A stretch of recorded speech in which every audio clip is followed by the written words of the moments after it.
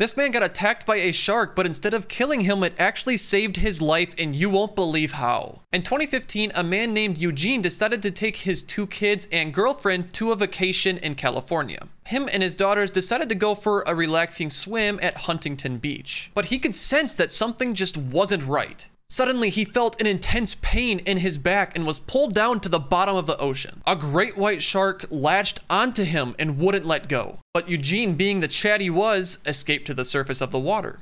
He barely made it to shore and was bleeding profusely. He had a huge gash in his back, but instead of ruining the vacation for the family, he waited until he got home to get it checked out. A week later, they finally went home and Eugene decided to go into the hospital. But when doctors scanned Eugene's x-rays, you won't believe what they found. The doctors found a cancerous tumor and luckily they were able to remove it in time before it spread.